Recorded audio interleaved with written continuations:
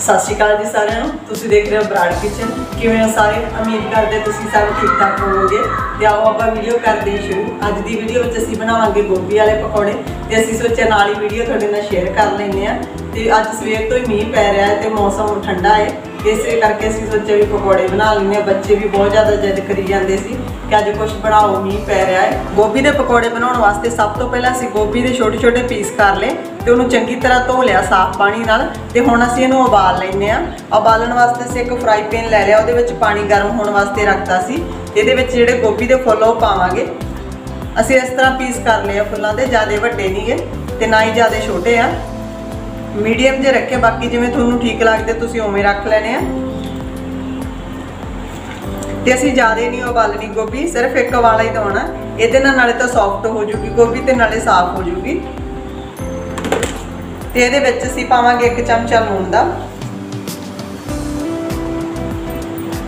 ਲੂਣ ਪਾਉਣ ਨਾਲ ਗੋਭੀ ਬਹੁਤ ਛੇਤੀ ਸੌਫਟ ਹੋ ਜਾਂਦੀ ਆ। ਤੇ ਦੂਜੇ ਪਾਸੇ ਅਸੀਂ ਕੜਾਈ 'ਚ ਤੇਲ ਗਰਮ ਹੋਣ ਵਾਸਤੇ ਰੱਖਤਾ। ਉਹਨਾਂ ਟਾਈਮ ਅਸੀਂ ਸਮਾਨ ਤਿਆਰ ਕਰ ਲੈਂਦੇ ਆ ਪਕੌੜਿਆਂ ਵਾਸਤੇ ਤੇ ਤੇਲ ਵੀ ਗਰਮ ਹੋ ਕੇ ਤਿਆਰ ਹੋ ਜਾਊਗਾ ਤੇ ਗੋਭੀ ਵੀ ਸਾਡੀ ਉਬਲ ਜੂਗੀ ਗੋਭੀ ਵਾਲੇ ਪਕੌੜਿਆਂ 'ਚ ਅਸੀਂ ਇੱਕ ਆਲੂ ਤੇ ਪਿਆਜ਼ ਵੀ ਪਾਵਾਂਗੇ। ਅਸੀਂ ਇੱਕ ਮੀਡੀਅਮ ਸਾਈਜ਼ ਦਾ ਆਲੂ ਲੈ ਲਿਆ ਤੇ ਉਹਨੂੰ ਇਸ ਤਰ੍ਹਾਂ ਬਰੀਕ ਪੀਸ ਕੱਟ ਲਿਆ ਉਹਦੇ ਲੰਮੇ ਤੇ ਦੋ ਅਸੀਂ ਮੀਡੀਅਮ ਸਾਈਜ਼ ਦੇ ਪਿਆਜ਼ ਲੈ ਲਏ ਆ। ਉਹਨਾਂ ਨੂੰ ਵੀ ਇਸ ਤਰ੍ਹਾਂ ਲੰਮੇ ਲੰਮੇ ਪੀਸ ਕੱਟ ਲਏ।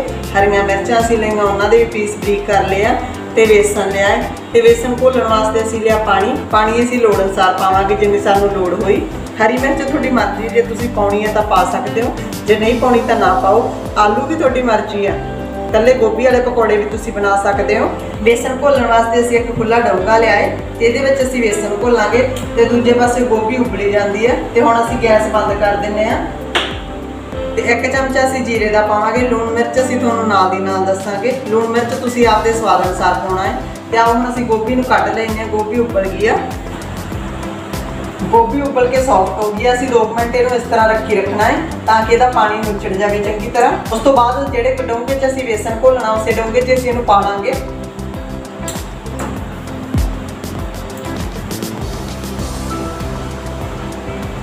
ਪਾਣੀ ਨੁਚੜ ਗਿਆ ਚੰਗੀ ਤਰ੍ਹਾਂ ਤੇ ਹੁਣ ਅਸੀਂ ਇਹਨੂੰ ਇਸੇ ਖੁੱਲੇ ਡੋਂਗੇ 'ਚ ਹੀ ਪਾ ਲੈਨੇ ਆ 2 ਮਿੰਟ ਵਾਸਤੇ ਹੁਣ ਅਸੀਂ ਇਹਨੂੰ ਠੰਡਾ ਹੋਣ ਵਾਸਤੇ ਰੱਖ ਦਿੰਨੇ ਆ ਗੋਭੀ ਠੰਡੀ ਹੋ ਗਈ ਆ। ਹੁਣ ਅਸੀਂ ਇਹਦੇ ਵਿੱਚ ਜਿਹੜੇ ਸੀ ਪਿਆਜ਼ ਤੇ ਆਲੂ, ਹਰੀ ਮਿਰਚ ਕੱਟ ਕੇ ਰੱਖੇ ਆ, ਉਹ ਪਾ ਲਾਂਗੇ।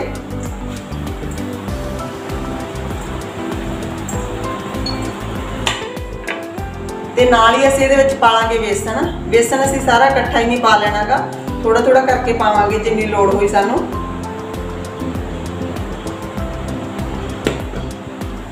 ਤੇ ਅਸੀਂ ਇੱਕ ਚਮਚਾ ਜੀਰੇ ਦਾ ਲਿਆ ਇਹ ਵੀ ਅਸੀਂ ਵਿੱਚ ਹੀ ਪਾ ਲੈਣੇ ਆ।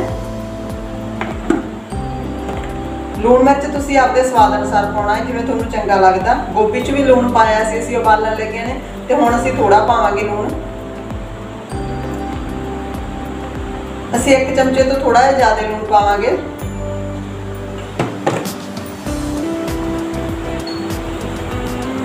ਅੱਧਾ ਚਮਚਾ ਅਸੀਂ ਮਿਰਚਾਂ ਦਾ ਪਾਵਾਂਗੇ। ਇੱਕ ਚਮਚਾ ਅਸੀਂ ਹਲਦੀ ਦਾ ਪਾਵਾਂਗੇ। ਤੇ ਥੋੜਾ ਜਿਹਾ ਅਸੀਂ ਧਨੀਆ ਪਾਊਡਰ ਪਾਵਾਂਗੇ। ਤੇ ਇਹਨੂੰ ਚੰਗੀ ਤਰ੍ਹਾਂ ਮਿਕਸ ਕਰ ਲਾਂਗੇ।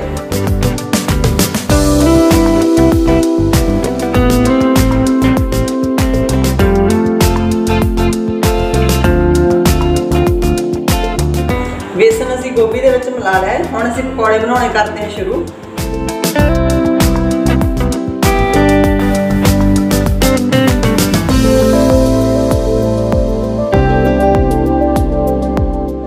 ਪੂਰੀ ਤਰ੍ਹਾਂ ਗਰਮ ਹੋ ਗਿਆ। ਹੁਣ ਅਸੀਂ ਪਕੌੜੇ ਬਣਾਉਣੇ ਕਰਦੇ ਹਾਂ ਸ਼ੁਰੂ। ਧਿਆਨ ਨਾਲ ਪਾਉਣੇ ਪਕੌੜੇ ਵਿੱਚ, ਕਿਉਂਕਿ ਤੇਲ ਬਹੁਤ ਜ਼ਿਆਦਾ ਗਰਮ ਹੁੰਦਾ ਜਦੋਂ ਅਸੀਂ ਪਕੌੜੇ ਬਣਾਉਣੇ ਆ, ਤੇ ਹੱਥ ਤੇ ਵੀ ਪੈ ਸਕਦਾ ਹੈ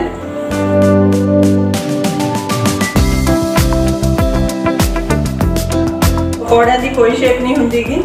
ਇਸ ਤਰ੍ਹਾਂ ਅਸੀਂ ਜਿਹੜੇ ਜਿਹੜੇ ਪੀਸ ਕੀਤੇ ਹੁੰਦੇ ਗੋਭੀ ਦੇ ਉਹਨਾਂ ਪੀਸ ਇੱਕ ਚੱਕ ਕੇ ਵਿੱਚ ਤਲ ਲੈਣਾ ਹੈ ਕਿਉਂਕਿ ਵੇਸਣ ਤੇ ਬਾਕੀ ਜੋ ਮਸਾਲੇ ਅਸੀਂ ਪਾਏ ਹੁੰਦੇ ਆ, ਉਹ ਪਹਿਲਾਂ ਹੀ ਲੱਗੇ ਹੁੰਦੇ ਇਹਨੂੰ।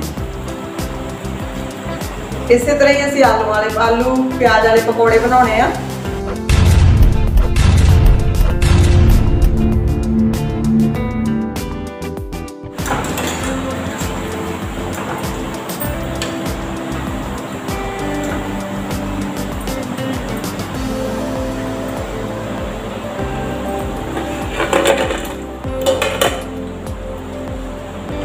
ਇਸੇ ਤਰ੍ਹਾਂ ਹੀ ਅਸੀਂ ਬਾਕੀ ਪਕੌੜੇ ਜਿਹੜੇ ਰਹਿ ਗਏ, ਉਹ ਵੀ ਬਣਾ ਲਾਂਗੇ।